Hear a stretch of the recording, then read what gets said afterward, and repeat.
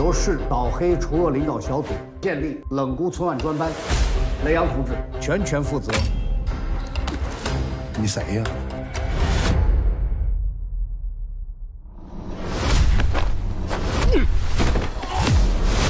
那小破警察下来了。雷志，欢迎你来滨江。魏天王也太嚣张了吧！强拆，征地拆迁款八个亿，嘴里叼这么大一块肥肉，能不嚣张？不说那些不开心的了，来，吃饭。我这次回滨江就是查呀，那你好好查。我不管你有什么身份，我一定办。县公安局扫黑办巴掌大党的地位，全让人捅了，懂？